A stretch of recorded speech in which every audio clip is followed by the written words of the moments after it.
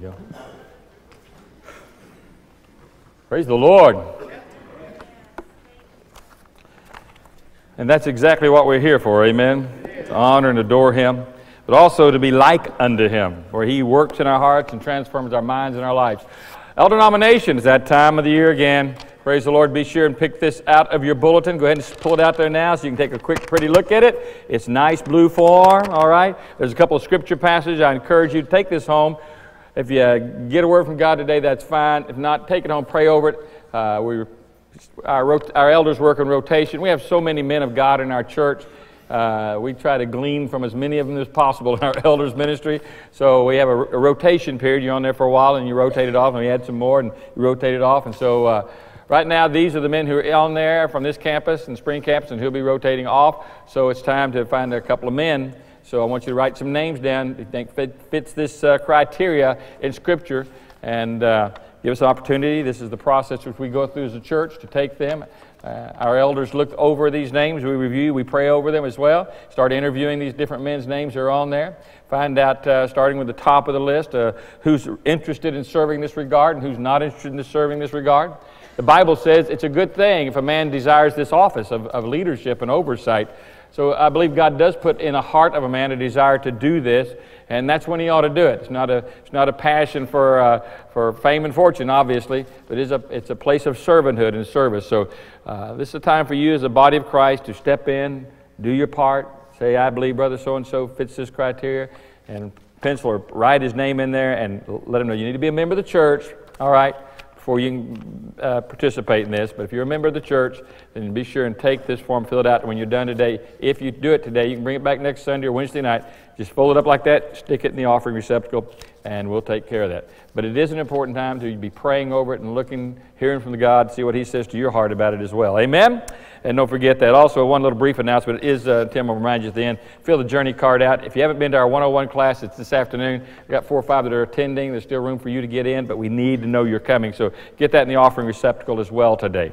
Let's get into our message as we continue our series on God's Glorious Church. The good thing about this God's Glorious Church series is that we're, we're continuing to do it within our lift groups on Sunday night. So if you're not in lift, great study to jump in on, get into the Word, and get a little deeper in the Word of God and see just who we are, what God's called us to be, and really how we function as the body of Christ. If you look into the Scripture, we're going to be in Matthew chapter, uh, well, towards the end of Matthew in chapter 28 verses 16 through 20. In fact, and you get to this passage, we preached out of this before, we looked at it before, we, we got banners that talk about this, we've hung up before, because it's, it's such an important criteria. In fact, these are the last words of Jesus Christ before he ascends unto heaven to his Father. Now, just because they're last words, that ought to be enough of uh, a reason alone to show how crucial they are and how important it is that we do pay attention to what the Lord is saying to us. These are final words. Obviously, we know the passage talks about making disciples of all nations. But as we get into this whole series, I think we need to understand that the underlying purpose for everything that we're doing in this series is to help you understand that when God saves you, He puts you into His body, a larger community, a family. It's a new society called the church. And being in that body, all right, being a part of this new community, there are certain responsibilities there, as well as privileges. We have these great privileges of knowing God and fellowshipping with each other and heaven to come. But there are responsibilities that are assigned to us as being a part of this, this fellowship and part of this body. And in Matthew 28, the Lord Jesus, after his resurrection, prior to the ascension, he calls this last meeting with his disciples and he speaks to them there and he gives them a very clear declaration. Listen to what it says. We have it on the screen. You can read along your Bible if you like. In fact, keep your Bible open. We'll be coming back to it. Now, the 11 disciples went to Galilee, to the mountain to which Jesus had directed them. And when they saw him, they worshiped him, but some doubted. And Jesus came and said to them, All authority in heaven and on earth has been given to me. Go therefore and make disciples of all nations, baptizing them in the name of the Father and of the Son and of the Holy Spirit, teaching them to observe all that I have commanded you. And behold, I am with you always to the end of the age. Now, if you look at this passage, and I've said before, and even Tony Evans in his book called The Glorious Church makes reference to this, the fact that, you know, we grew up saying the Pledge of Allegiance in our schools, and, you know, I, I know a lot has been done by liberal agenda to remove that. because it, should we have such patriotism and it isolates us from the rest of the world if we, you know, kind of focus in on who we are. And then they try to can't remove the pledge and let's remove the uh, let's remove the, uh, the, the part about God in it because we certainly want to do that. But most of us and grew up with the Pledge of Allegiance. We said it in schools and public meetings, and we just grew up putting our hand over our heart and saying saying the Pledge of Allegiance. I pledge allegiance. But uh, you know, this for the believer is really our new Pledge of Allegiance. This is really something that you want to place your hand over your heart. You, you could actually say, you know, all authority on heaven and earth has been given to my Lord Jesus. I will go therefore, and I will make disciples of all nations, baptizing them in the name of the Father, the Son, and the Holy Ghost, teaching them to observe all things that, that we have been commanded. And behold, the Lord Jesus is with us always, even to the end of the age. There's this, because this is what we're here for, amen? And we really ought to be committing ourselves to it. It ought to be more than just red letters in the Bible verse we may have circled or underlined, because this is, this is what really gets to, down to in our walk with Christ. It's, we're not here, we're not islands into ourselves. We, we become part of something much, much larger. We're, we're part of this, this community. It's more than a community, it's really a kingdom. We're part of Christ Church to build the kingdom, and we're here for the glory of God. And, you know, and in fact, if you look at this, the Holy Spirit took care of the, the pledge of allegiance for all believers when, when we were placed into the body of Christ now. We now have this new calling, this new direction, a new motivation because we're not what we used to be.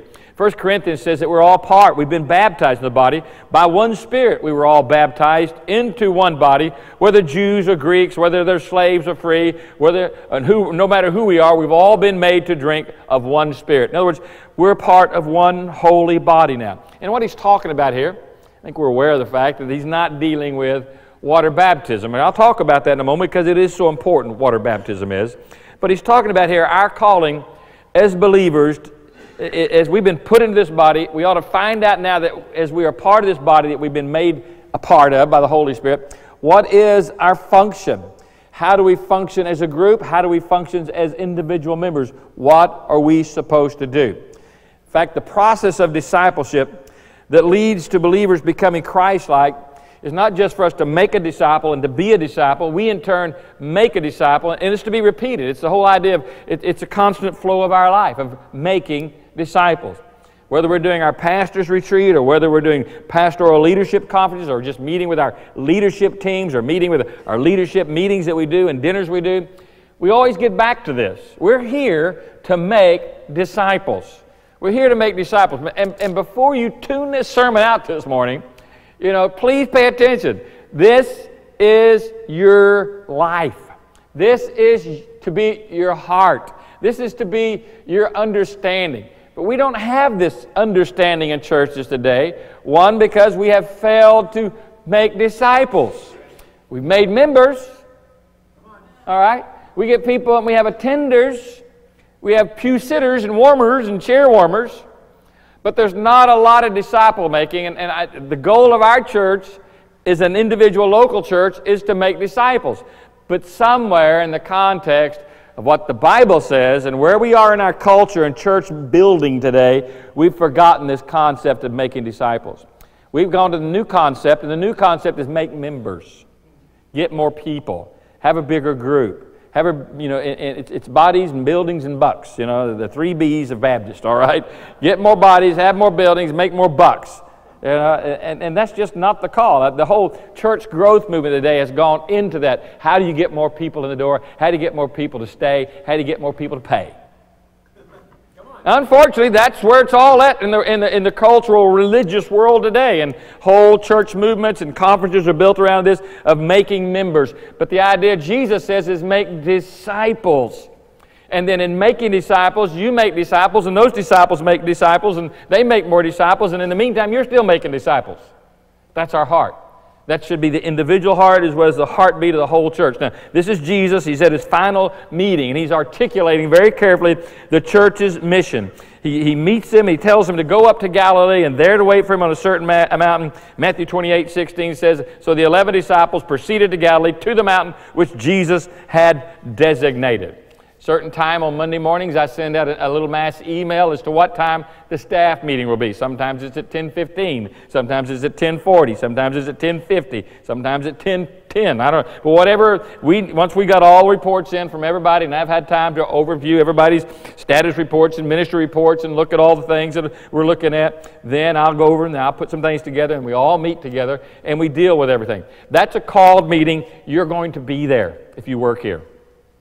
Can I get a hearty amen for those who work here? Amen. You, you, you're going to be there at the meeting. It's a designated time. Jesus is calling a meeting, all right? This is the, the first meeting he's called during his 40 days between the crucifixion and, and the ascension that it, when it, before he goes to the Father.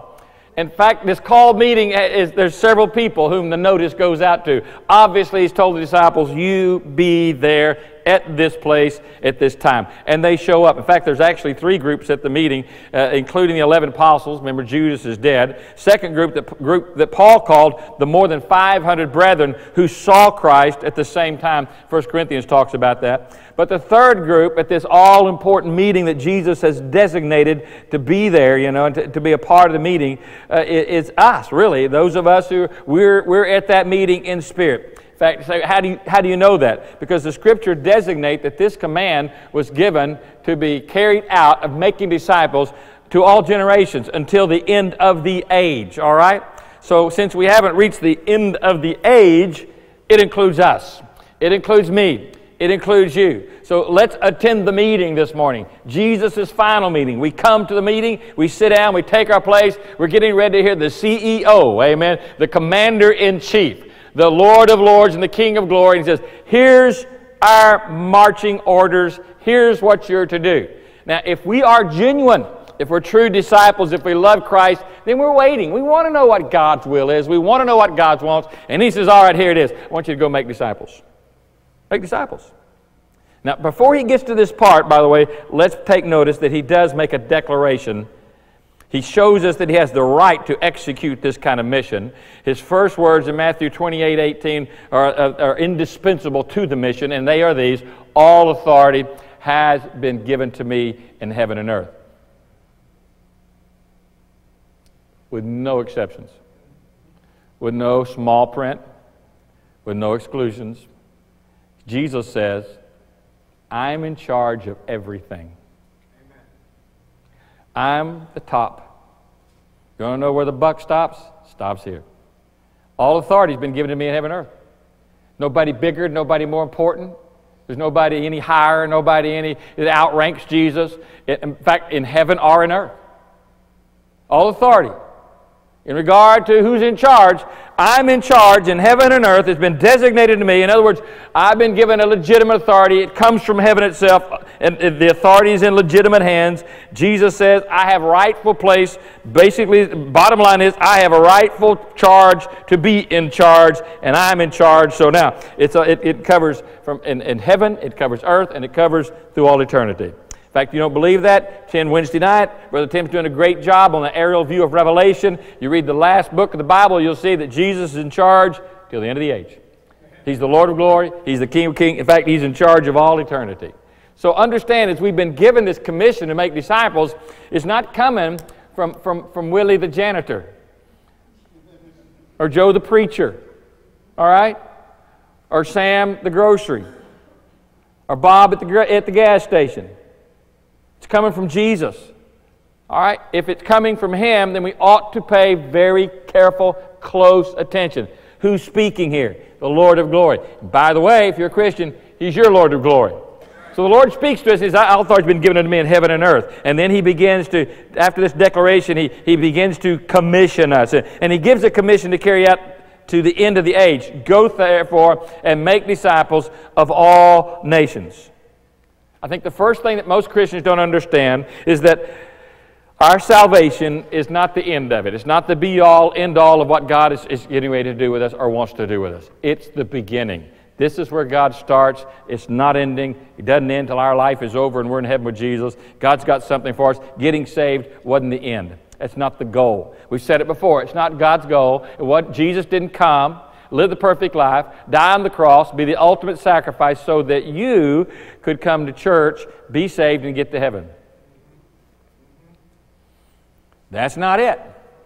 Jesus Christ came, died, rose, revived, so he'd be Lord over all, and so that he would use us, save us, put us back into the culture, put us back into the world, use us for His glory right there, make a difference through our lives to all people around us. But He's got to make a difference in us first, but from that goes out of us into the culture where we're making a difference. So our calling really is not complete until the church and individuals are making disciples who go out and they make more disciples. That's what you've been called to. But no, no, no, that, that's my responsibility. I thought that was your responsibility, Pastor. It's our responsibility. It's the church's responsibility. Verse 19 is really the core of the commission, and the phrase is to make disciples. In fact, it's a command in the Greek text, and in fact, it's the only command in this text. A lot of people say, well, let's break it down. There's four commands here. You go, you make disciples, you baptize, you teach. No, there's really just one commandment here, and the command in the original language is to make disciples, all right? The other three activities, the going, the baptizing, the teaching, they're, they're participles that explain and expand the command to make disciples, all right? That I make disciples, and part of that making disciples is baptizing them and, and, and teaching them to observe everything the Lord's commanded. And obviously the going. That's all part of it. But the command itself is really to, to make disciples. In fact, the making of disciples is not even the is, is not the gospel message. The making of disciples is the command that we've been going. The gospel message is obviously included in that of teaching and, and leading and instructing people. The, the core of the commission is to make disciples. And the beauty of it is, I've given you the authority. I'm in charge. And now I'm ex- extending that authority to you. You go, you make disciples. I mean, that, that, to me, it's exciting because it means that He is with us in this process to ensure that what we're doing works right and is right. Great illustration of this making disciples, duplicating the Lord Jesus Christ is, you know, at the service today, uh, and, and, and uh, at the end of the service, the video vision team at the back, they will, they will pull out two discs that are back there moving right now. One is recording just an audio recording of the service, a CD, and the other is recording a video of the service so we can use it. We put it out on the web. We're able to give it to people who are not in the service, who are working in different areas of ministry. We also are able to share them with the community and get outside these circles and put the message on the web where a lot of people can get access to it. So we make a master tape of the service. There's a master video and a master audio. And those, those are taken out of their machines and they're marked as masters, all right? They're taken to the office and then they are duplicated in the office. Now, we used to do this on audio cassette and for those of you who don't know what an audio cassette is, it's like way old school. All right? And it's like there's it's this little square thing, and it's got a real magnetic tape in it. And as the recorder would head would come on, this tape would pass through there, and it would record the sermon on it. All right? That's an audio cassette tape. Some of you youth are blessed to get your first car to have one still in it. And if you want something to put in there with that, you come see me. I've got some sermons you can listen to. Still on audio cassette tape. We have boxes of them. All right?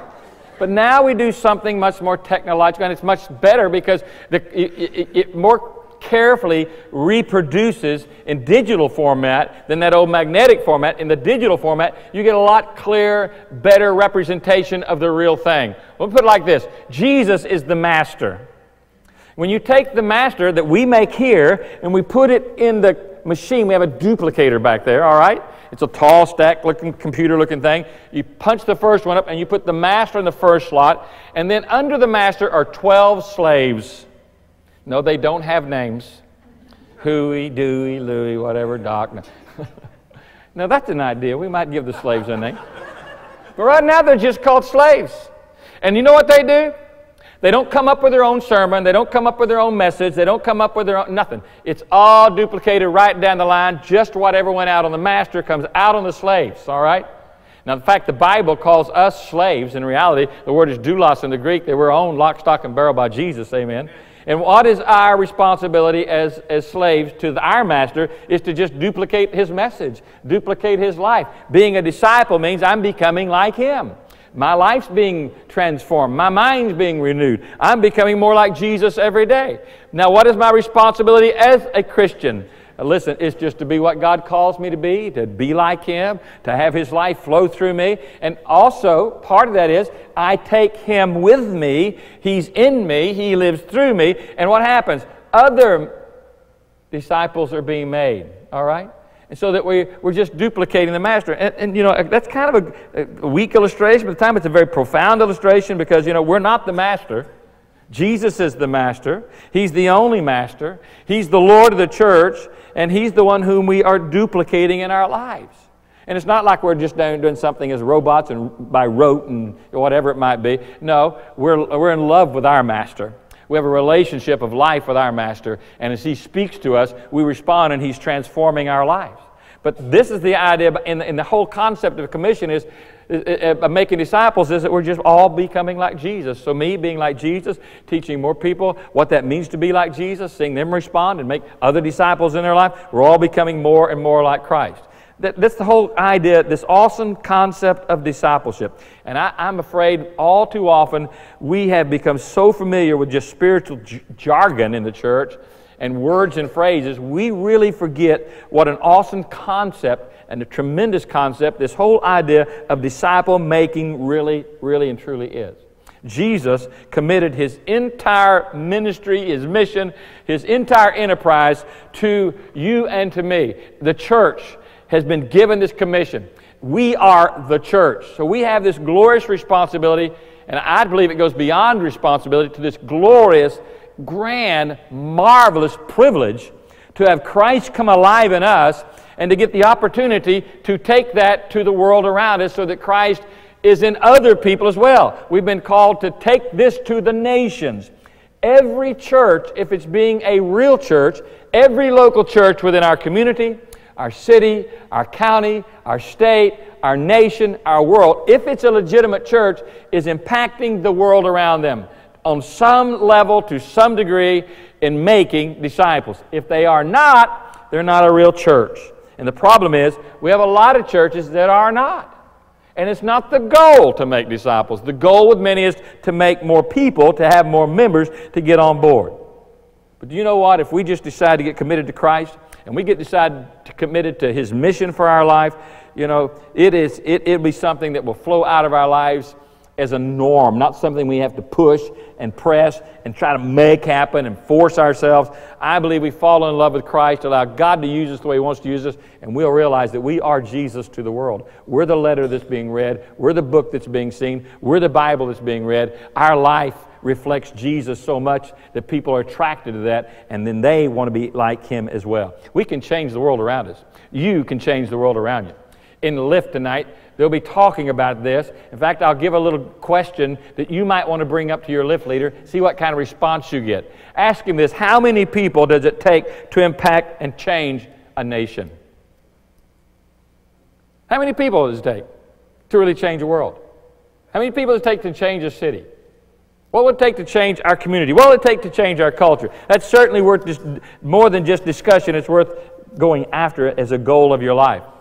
In fact, the idea is missed too often, all too often. Discipleship is so big that when we're obedient to God, we choose to become faithful in discipling people, we will impact the world. And I believe this church can, is impacting, but can even have a far greater impact than what even we begin to understand. If we would just all realize you and I, young, old, in between, below that, over that, whatever you consider yourself, you're part of this process. No one, none of us are to be left out. Every one of us are to be involved in this whole idea of disciple making people. That's our call in life. Now, the Greek New Testament word here for disciple, it, it was not uniquely a Christian term. I mean, that didn't happen with the Lord Jesus Christ. Uh, all right, the idea is obviously unique to Him. He created all things and everything comes from Him. But the idea is, is that of somebody that's a student or a learner. And, and the practice of making disciples was well known in, in the Greek world hundreds of years before Jesus. In fact, the Greek philosopher Plato developed a system, a Platonic system of teaching uh, that bears his name. In fact, he turned, in turn, he began to trained, we know these names from history and from school and education, Plato and Aristotle, that he taught Aristotle, and his young disciple, Aristotle, took this Platonic uh, philosophy and began to teach and train other disciples. And Aristotle built on Plato's teachings, and he developed his own system, and it was known as Aristotelian logic. But they'd have these schools. In fact, they, they took their system and made a school out of it, known as academies back then. And all these academies that Aristotle started were to train disciples, to teach them philosophy and the culture. In fact, they became so good at making disciples and producing disciples that when Greek the Grecian people were finally overthrown by the Romans, and the Romans took over, even though they were under the Roman authority, and the Romans tried very hard to, the Romans could not eradicate this whole Greek influence of the culture. Rome had the big sword, they welded the power. They wanted to influence their, have the Roman influence on the Grecians. But the Grecians were so well entrenched in their philosophical approach to life and their, their culture that they ultimately impacted the Romans. People lived under Roman rule were living that way, but their thinking and their mind was more Greek than it was Roman. And, and we discover that in the end, what people think is a lot more important and a lot more powerful than what some external power or force can do. And to help us understand why Jesus commissioned the church to make disciples, you can look back at history a little bit and see the impact. And you see, if you can change people's hearts and you can change people's minds, then you can influence a culture. The problem is we've left off disciple making, and in the process of being disciples and being made into disciples, our, our, we get a new worldview. We get a new perspective of the world around us. And what we've done with just making members is we have people who come into the church and they're members, but their perception and their, philo- their philosophy and their concepts are still distorted by the world and they don't embrace biblical thinking. They don't embrace Christian thinking. They come to church, they're unchanged, but they go back out in the world and they don't make a difference. It's like Jesus says salt without savor, lanterns without oil, nothing internally happening. Well, when discipleship is done right, a disciple becomes a follower for life. And it really basically reveals the, the, the facts that the real battle is not out here in the world. The real battle is waged in the mind, and the real battle is waged in the heart. And this is exactly what Jesus was teaching. He said, you know, it's out of the abundance of a man's heart. He lives, he speaks, he acts. In other words, how you really believe is how you really act. You see people who, who, who act like the world but say they believe in Jesus, but their actions are not changed, don't really believe, do they? They're not disciples. They're not following. That's why, especially within the culture we're facing now, because of the way the church has behaved itself in the last decade, you got people in their 15, 16, 18, 19, 20s, and 30s that act like the world, and they do church, but yet they go out and they live just like the rest of the world. It's not unusual to see them at the bars. It's not unusual to walk in the restaurant and they all got margaritas on the table. You know, there's no, there's no, you know, you say, Were you preaching against drinking? I don't have to say anything against it. It's all in the Bible. The Bible says you're a fool if, you're deceived thereby. All right? That one verse was there, but Jesus turned the water into wine. Don't prove your ignorance. Come on. Come on. You know? The, the idea is not if something's, if, if God says something against this or that. Or the idea is I want my life to be so pleasing to Jesus that if somebody sees me sitting in a restaurant, they're not going to be any doubt I'm a believer. Amen. Amen. Amen. There's not going to be any doubt. Why is it when Jesus said, if you really want to take a vow to live a righteous life, take the Nazarite vow. And part of the Nazarite vow is no alcohol. All right? When the Bible says, let your moderation be known unto men, it doesn't show how much little you can drink. I only had one drink at the party. Finished the bottle off and everybody left. Tragedy is it, that most people don't know how to exercise moderation. Ah, I was getting real quiet, you know. What's it going to hurt if I have a little drink here and there? It hurts your thinking. It warps your, it distorts your mind. You know, if you want to find out why the prisons are full, go to drugs and alcohol, and you'll see that 90% of it in there because of those things. You want to see the weeping mothers of little babies in, in caskets at funerals, go see if some drunk driver went off the road. But I only had a couple. I mean, there's heart, the sorrow and the heartache and the tragedy and the pain alone that comes from it ought to say to Christians, I don't think I anything to do with that. I don't anything to do with that. Well, my preacher drinks. Well, good for him. You know? But I'm not answering to your preacher, and you're not answering to me, ultimately. We answer to God. And I just don't want anything that's going to affect my witness, and my testimony, and my actions. It didn't take me long to realize that all it takes is one drink to affect your actions. Tell you what, say, I'm just going to have one drink. When, once you drink alcohol, scientists have made it very clear that the first part of your brain that's affected by alcohol, whether you're taking in cough medicine or taking in liquor, still, the, no matter how it comes into your system, is your thinking. So just my thinking needs to be warped just a little bit. And guess what? I, well, second drink sounds okay. I know y'all don't like that. But you're not going to be able to stand before Jesus and Jesus indict you on something. You're not going to be able to say, Brother Joe didn't say anything about it. Amen. So you love me, all right? But we have a culture. I don't know how I got off on that. That's free, okay? Anyway, we have a culture, and it's not just alcohol, it's just the behavior, it's just life in general. I mean, you can watch what most people spend their time watching on what's your favorite TV program? I mean, you get a real taste of where your spiritual, your spiritual deal is. You're sitting there applauding shows and filled with adultery, homosexuality, fornication. Oh, it's just so great, you know, that just makes me cry. you know, well, what, what have we done? We've let the culture influence us. We've let it influence us. I mean, when you read what Paul says, he walked through, through Athens and he says his spirit was disturbed within him disciples get disturbed within by the culture. We say, we want to change. We want, to, we want things to be better than this. We want people to have life. We don't want people's lives wrecked with sorrow and shame. We want people to enjoy fullness. We want to make a difference in the culture that we're in. We don't want to be absorbed by this culture. And genuine disciples go out and they realize that the real battle's in people's hearts and minds. How do you win that battle? The Bible says that we can be transformed by the renewing of our mind, that we can have the power of God's Holy Spirit in our life and the power of God's Word. And so I apply that to my life. I'm becoming a disciple disciple. I want to be more like Jesus than I am more interested in being popular or getting the pay raise or having people like me. No, I want Christ to like me. Well, He loves me already just like I am. I tell you, He loves you just the way you are, but He'd love for you to start acting right. I love my children just the way they are, so do you, as parents. But you sure wish they'd change some things, don't you? change them. Fall in love with Christ. Quit trying to see how close you can get to the edge. It's like the old story Bill Gothard used to share in the seminars. You know, he said the, king wanted to hire a driver, and he said, he lined up the drivers for his chariot. He says, How close can you get to the edge of the dangerous cliff without going over? And they're all bragging, Well, I can get within a foot. Well, I can get within inches. I can keep that carriage, carriage on the road. And one guy said, I don't even go near the edge. He said, You're hired. I'm in the carriage. I don't want you near the edge. But we find how close we can get to the edge without falling off. And that's, you've missed the mark. I want to see how close I can get to Jesus. How close can we come to our Father? How much fellowship can we have with Christ? I mean, well, you can get too spiritual. you ever heard a banker say that to another banker? Uh, you be careful, you might get too rich. Don't think so.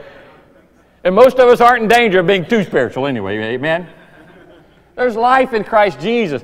A trained disciple can live in a hostile, critical, dying world without succumbing to that culture. Why? Because our minds are fixed on another world. We're part of another life. We're part of another kingdom and another culture. We become disciples. Then we, in turn, we make other disciples who can be sent out into this satanically controlled world and infiltrate the structure of this world, and we can bring the thinking of Christ and the church and the kingdom to begin to bear on every part of our society until ultimately our goal is every nation for Christ. That's what I love about Awanas. And Awanas, you know what that little theme in Awanas is? Every other boy and girl, other boys and girls for Christ. You know, it's every man, every woman, reach them for Christ. Win people to Christ. Make disciples. Be the person who makes the difference in your culture instead of trying to be cool and trying to be accepted and trying to be recognized. Well, I don't want people to think I'm strange. You are strange. I'm not saying that in a negative way. You are, if you're in Christ, you're strange to the world. I mean, you're different. But that's what gets their attention. That's the advantage we have.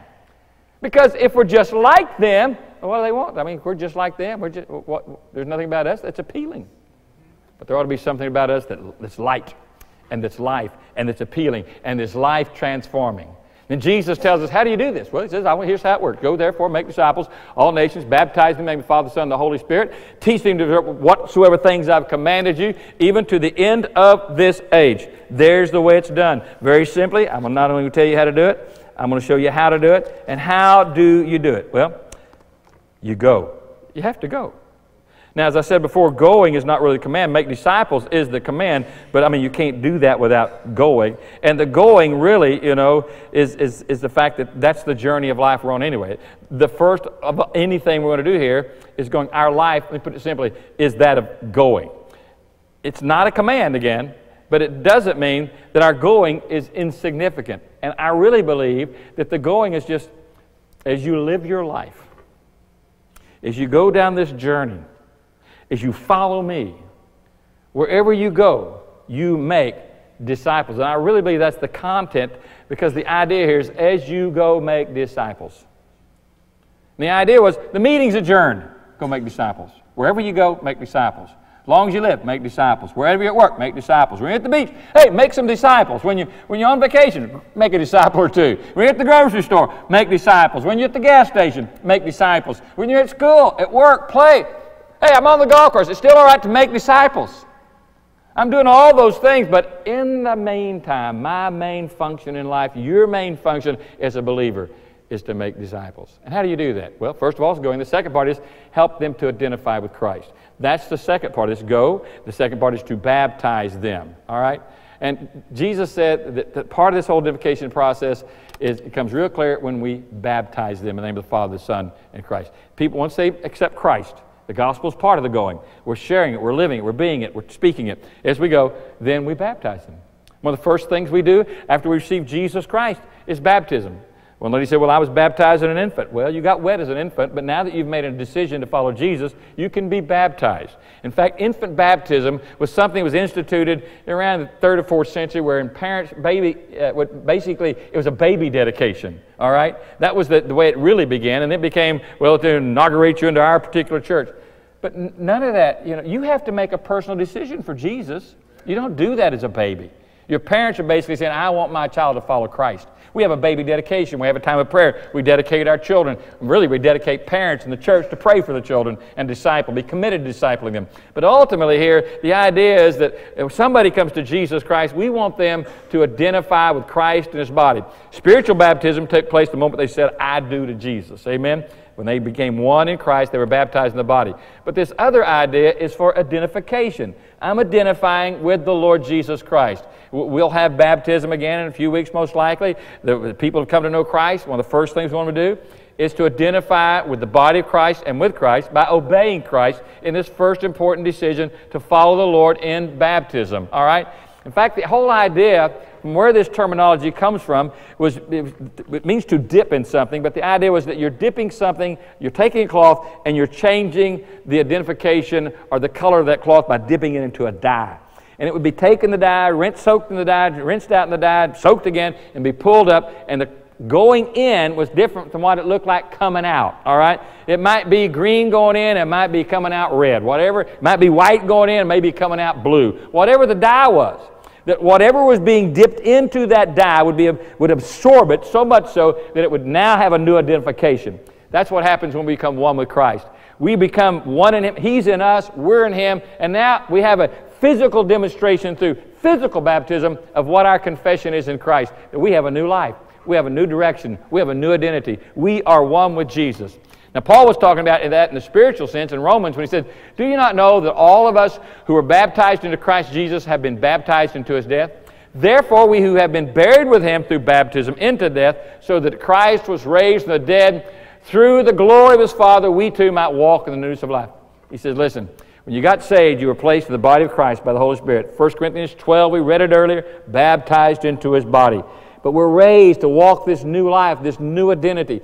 Quit seeking to be identified with the world. Quit seeking to have everybody notice and pay attention to you because you have the finest car, the finest clothes, the biggest house, the newest shoes, the latest model, whatever it might be. You're not going to find satisfaction in that. That's a never ending rat race, all right? As soon as you catch up with the Joneses, they'll buy the next iPhone.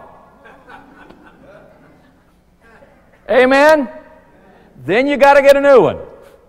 It's a waste of time to try to keep up with the world. Your joy, your grace, your love, your life is going to be found in being identified with the Lord Jesus Christ. And Jesus said, one of the first things you need to do is teach them how to be identified with me. And you do that first and foremost by this, this obvious application of baptism. All right?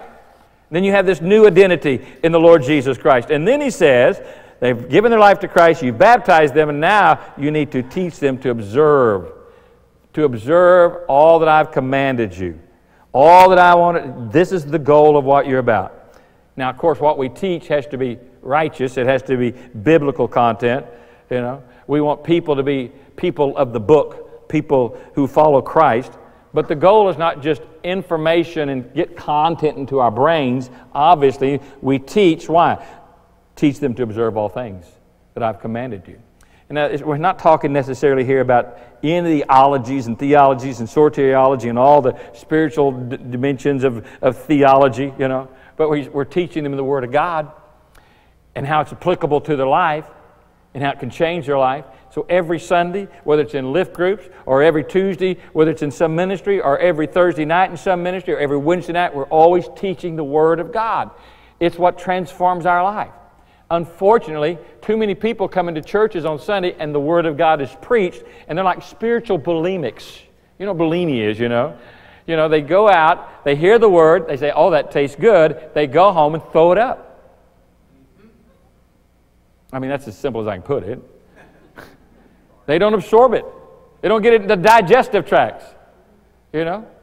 They don't, the Word of God is, is made to be absorbed and, and to be fed upon, and then to receive the vital nutrients from it for your spiritual walk and your spiritual life so you can grow in Christ and be what God's called you to be, and encourage you to stand up and be what God wants you to be in the world that you live in. The goal of biblical teaching is not just information, the goal is, is that people know how to observe what the Lord has commanded us. It's application, it's the action. How do I carry out what God wants me to do? How do I not be some kind of spiritual bulimic?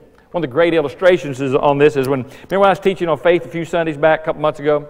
And I talked about how, you know, that, uh, that uh, God's always teaching us. One of the instances that we read from briefly was in Mark chapter, I believe it's chapter 8. And Jesus had just fed, I think, 4,000 in that instance, all right? Now, 5,000 fed earlier. And the disciples were seeing this. Remember, he, just, he took a little bit and made a bunch and fed everybody. And the next verse says, And then immediately, after the miracle, immediately Jesus instructed the disciples to get in the boat to go the other side.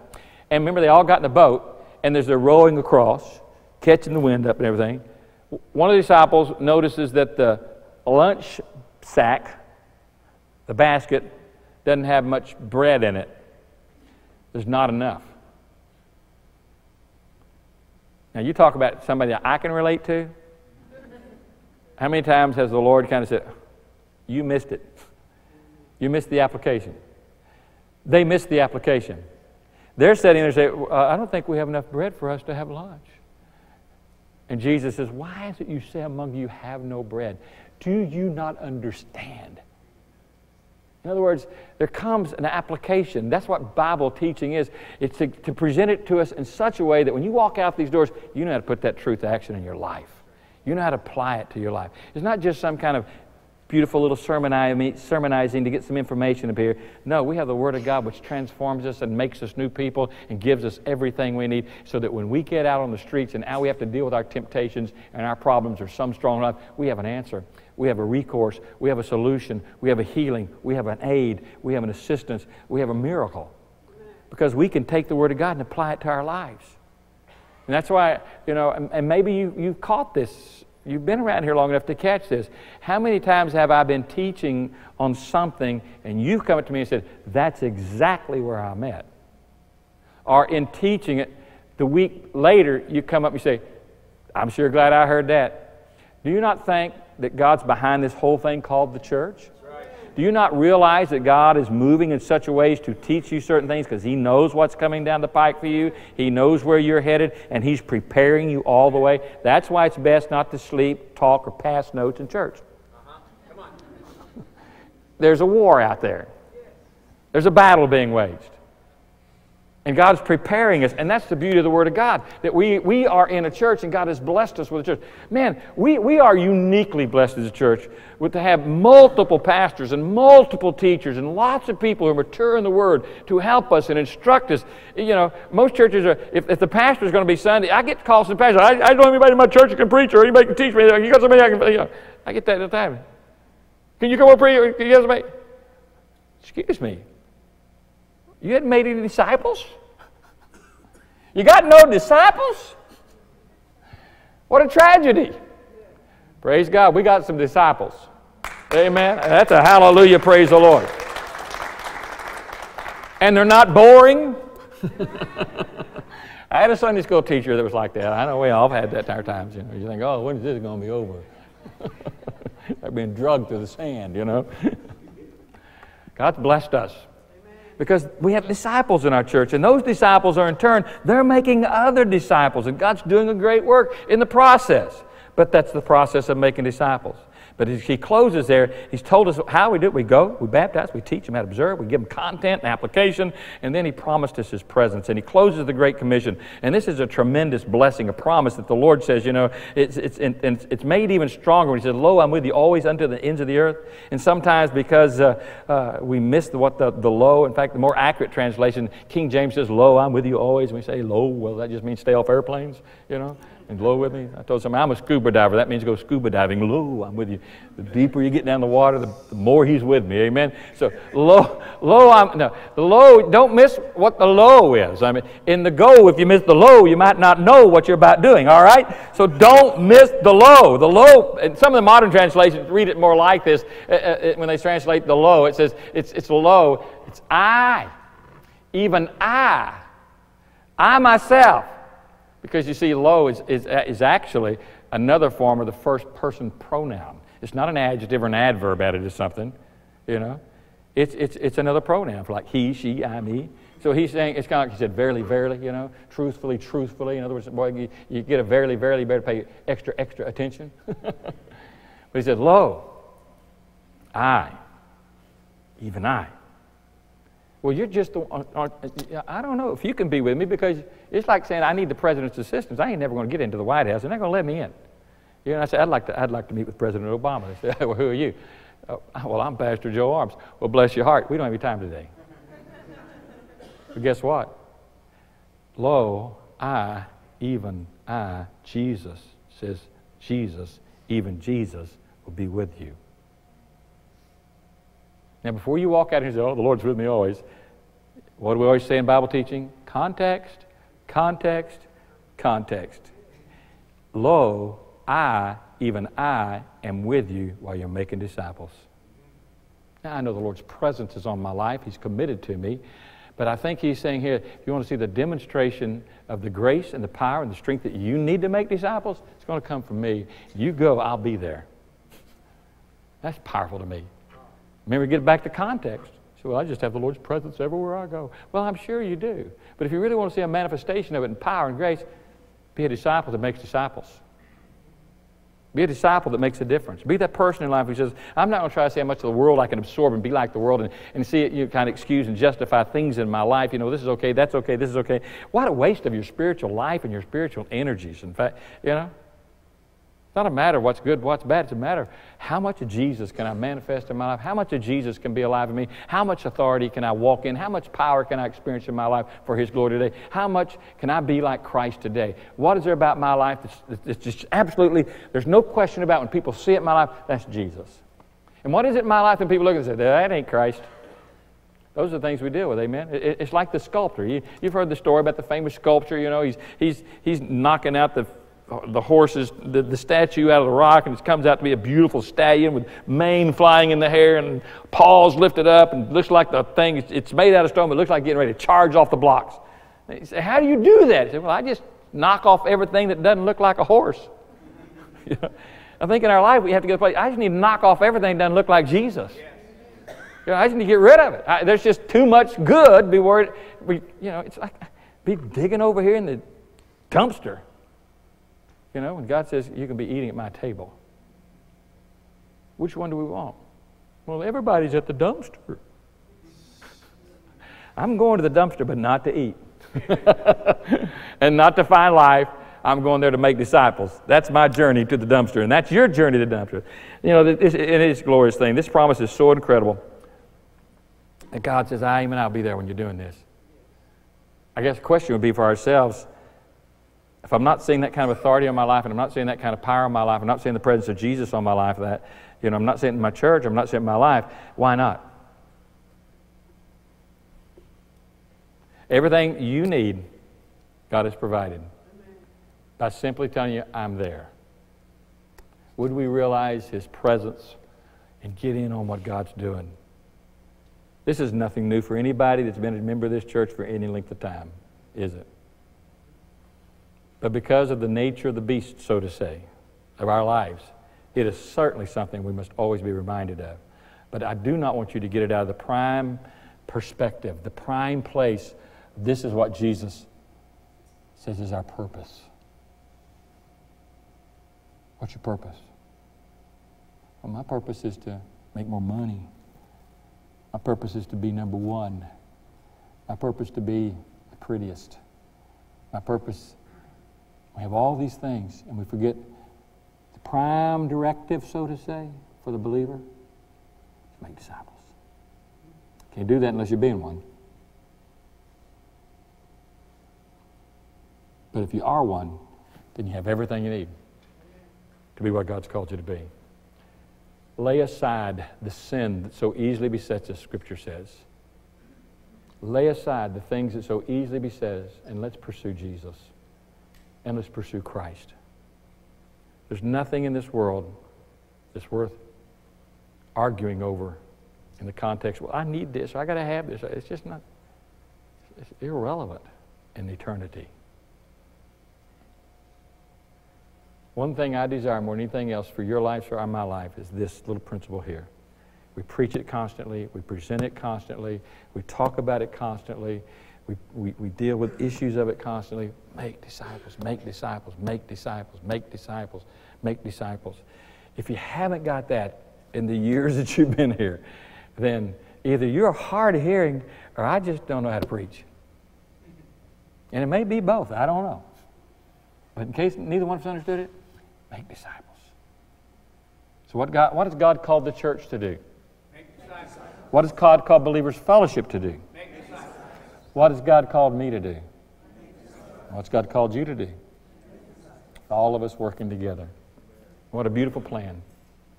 More and more people come into the family of God. That's where you're going to find your greatest joys and your greatest blessings, being what God's called you to be. Hallelujah.